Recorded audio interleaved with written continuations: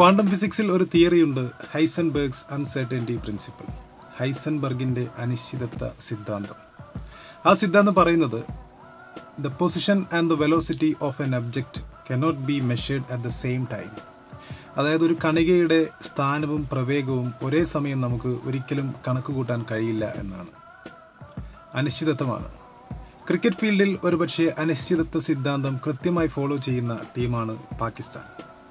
ആദ്യ കളിയിൽ പാകിസ്ഥാൻ വെസ്റ്റ് ഇൻഡീസിനെതിരെ നൂറ്റി അഞ്ച് റൺസിന് ഓൾ ഔട്ടായി അപ്പോൾ തന്നെ എല്ലാവരും കണക്കുകൂട്ടി പാകിസ്ഥാൻ ഈ ലോകകപ്പിൽ വലിയ അത്ഭുതങ്ങളൊന്നും കാണിക്കാൻ സാധ്യതയില്ല എന്ന്. പക്ഷേ അടുത്ത കളിയിൽ കരുത്തരായ ഈ ലോകകപ്പ് നേടുമെന്ന് കരുതപ്പെടുന്ന ഫേവറേറ്റുകളായ ഇംഗ്ലണ്ടിനെ പാകിസ്ഥാൻ തകർത്തു. പാകിസ്ഥാൻ പാകിസ്ഥാൻ ആരാധകരുടെ പ്രതീക്ഷകൾ വാനോളം ഉയർന്നു. പക്ഷേ ഇന്നലത്തെ കളിയിൽ വീണ്ടും പാകിസ്ഥാൻ മൂഷിക സ്ത്രീ പഴയ മൂഷിക സ്ത്രീ ആയി എന്ന് പറയുന്നത് പോലെ ഇന്നലത്തെ കളിയിൽ ഓസ്ട്രേലിയയോട് തോറ്റിരിക്കുകയാണ്.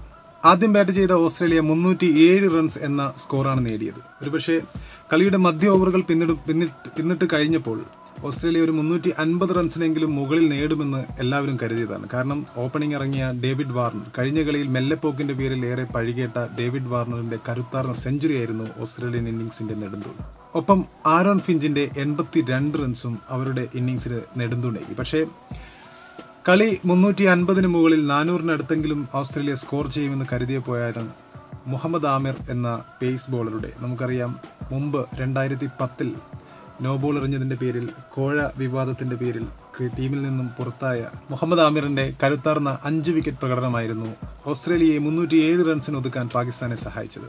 മുന്നൂറ്റിയേഴ് റൺസ് ചേസ് ചെയ്യാനിറങ്ങിയ പാകിസ്ഥാൻ ഇരുന്നൂറ്റി അറുപത്തി ആറ് റൺസിന് എല്ലാവരും പുറത്താവുകയായിരുന്നു. ഈ ഇരുന്നൂറ്റി അറുപത്തി ആറ് റൺസിനെടുക്കും ഒരുപാട് അനിശ്ചിതത്വങ്ങൾ നമ്മൾ നേരത്തെ പറഞ്ഞതുപോലെ അനിശ്ചിത സിദ്ധാന്തങ്ങൾ ഇതിനകത്തുണ്ടായിരുന്നു.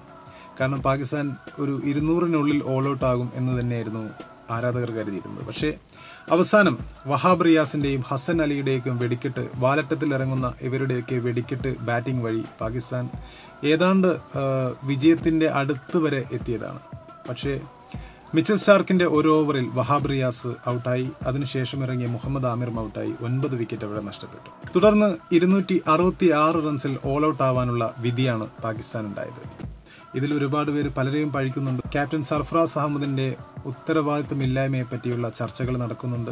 ഇതൊക്കെയാണെങ്കിലും അടുത്ത മത്സരത്തിൽ മറ്റൊരു അൺസർട്ടനിറ്റി പ്രിൻസിപ്പിളുമായി മറ്റൊരു തിരിച്ചുവരവ് നടത്തുമെന്ന് തന്നെയാണ് ആരാധകർ കരുതുന്നത്.